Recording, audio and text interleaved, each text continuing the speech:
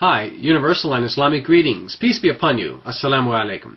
Is Prophet Muhammad mentioned in the Old Testament? Yes, I believe he is. I'm going to quote you now Deuteronomy chapter 18 verse 18. And this is God speaking to Prophet Moses. It says, quote, And I will raise up for them a prophet like you from among their kinsmen or brethren, and I will put my words into his mouth, and he shall tell them all that I command him.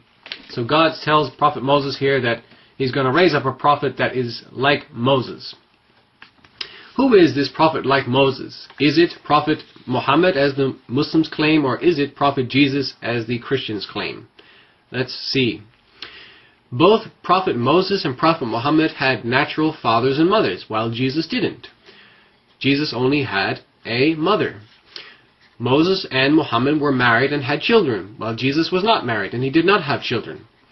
Both, both Moses and Muhammad were accepted by the majority of their peoples, but John chapter 1 verse 11 tells us that Jesus was rejected by the majority of his people. Both Moses and Muhammad had political power, while Jesus did not. Both Moses and Muhammad came with divine comprehensive laws, but Jesus did not. Instead, Jesus followed the law of Moses. Both Moses and Muhammad led an exodus of people. Moses, as you know, led the people out of Sinai into the promised land, and Muhammad, peace be upon him, led the Muslims from Mecca to Medina. Moses defeated Pharaoh, while Prophet Muhammad defeated the pagan Arabs, while Prophet Jesus did not defeat any opposition. Instead, Christians believe that Jesus was killed and murdered. Jesus uh, did not die a natural death, while Moses and Muhammad did. Uh, both Moses and Muhammad are buried, but Jesus is not buried. He was raised alive. There's no myth going around the world that Muhammad or Moses are gods. Instead, Christians claim that Jesus is God. And it is also said that Prophet Muhammad and Moses both started their prophetic mission at the age of 40, while Jesus, it is said, started at the age of 30. And also Christians believe that Jesus was raised from the dead. And this is not a claim that is said about Moses and Muhammad. So clearly you see here um, Muhammad is the prophet more like Moses rather than prophet Jesus, peace be upon them all. There are many more examples, but I think this itself is enough. So let's look at the verse a little bit closer. The part of the verse that also says, God will raise up a prophet like Moses from amongst their brethren. Now, people interpret this from amongst their brethren to mean from amongst the Jewish people. So they will be brothers to the Jews. In other words, they say that this prophet must be a Jew, and he cannot be Prophet Muhammad because he was an Arab, peace be upon him. However, the Bible actually says that this prophet to come will not be an Israelite or a Jew. Instead, he will come from outside of Israel and not from the Israelites. And I will quote to you Deuteronomy chapter 34, verse 10. And if you have your Bibles, open it up and read with me. It says, quote, since then no prophet has arisen in Israel like Moses, whom the Lord knew face to face. So basically, since then, no prophet has arisen in Israel like Moses. God tells us this. And we know Prophet Jesus did arise in Israel. Where did Prophet Muhammad arise from? Not in Israel, from Arabia. So, also if you look at the Hebrew dictionary of the Bible, the word brethren is talked about. It says it means personification of a group of tribes who were regarded as near kinsmen of the Israelites. The Israelites meaning Jews. So basically it means some kind of relative of the Israelites. It doesn't mean literally brethren or literally brothers. And we know that the Arabs are, in fact, related to the Jews. The Arabs are called Ishmaelites because they descend from Abraham through Ishmael, and the Jews are called Israelites because they descend from Abraham through Isaac. So they are actually like brothers, or distant relatives, or like cousins, if you want to call it that. Also, the Bible says that the Israelites are indeed the brethren of the Arabs, or the Ishmaelites, in Genesis chapter 16, verse 12, and also Genesis chapter 25, verse 18. Yet the Christians still claim, after all of this evidence, that that prophet to come, like Moses, would be Jesus, the prophet mentioned in Deuteronomy 18:18.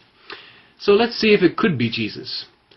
The Jews at Jesus' time, during his time, actually were waiting for three individual men to appear that God would send to them.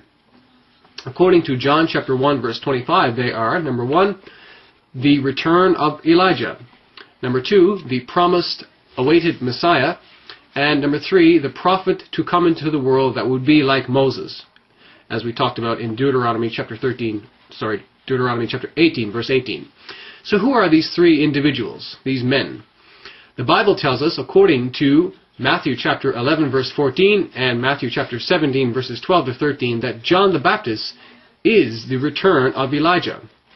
As to the second individual, the awaited Messiah, is Jesus, according to John chapter 4, verses 25 to 26. And with regards to the third individual, that prophet to come who is like Moses, this prophet must be Muhammad, peace be upon him.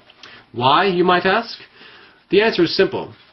Let me give you a number of reasons. Number one, we have already seen that the great similarities exist between Prophet Moses and Muhammad. Number two, Muhammad is an Arab, a descendant from Prophet Ishmael. God blessed Prophet Ishmael in Genesis chapter 21 verses 13 and verse 18. The Arabs are the brethren of the Jews. Number three, Deuteronomy 18:18 says that the prophet shall speak in, in God's name and shall speak God's words. The Quran, chapter 53, verses 3 to 4, says that Muhammad did just that. Another reason, number four, Deuteronomy 18, verses 21 to 22, says that that prophet's prophecies must come true if he is a true prophet. Muhammad's prophecies did come true. Let me give you one example. He prophesied that the Muslims would defeat the two superpowers of that time, the Byzantine Roman Empire and the Persian Empire. And this was fulfilled just after his lifetime. And the Muslims were actually weak at that time. Can you imagine them defeating the superpower? Two superpowers, not just one. And again, another example, number five. We saw that in Deuteronomy chapter 34, verse 10, it says that the prophet would not come from Israel or the Israelites. And Muhammad, as I've already mentioned, was from the Ishmaelites in Arabia. Number six, we saw that the Bible says that the prophet to come would not be Jesus or John the Baptist, because John was the return of Elijah, and Jesus was the awaited Messiah, while Muhammad, I believe, is that third prophet like Moses to come.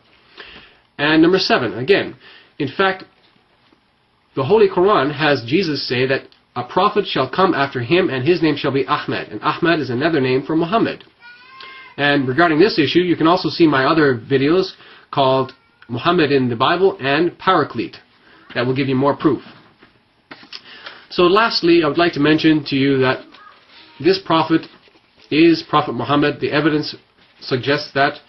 And the only person in the world who is most famous for the title the Prophet is Prophet Muhammad. There are more than a billion and a half people in the world today that call Prophet Muhammad the Prophet without mentioning his name.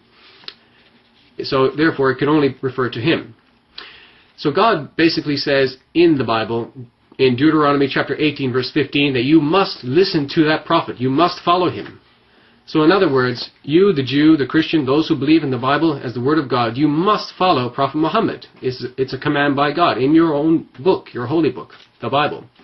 In fact, God says in Deuteronomy chapter 18 verse 19, and I quote, If any man will not listen to my words which he, that prophet, speaks in my name, I myself will make him answer for it. So God is threatening those people who will not follow the Prophet Muhammad in the Bible.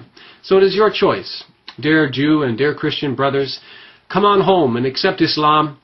Ask Allah for forgiveness and salvation, and it will be yours. And you will be blessed in this life and in the hereafter. For truly, the success is only with God our Creator, Almighty Allah, the God of Jesus and the God of Muhammad. Peace be upon you. Assalamu alaikum.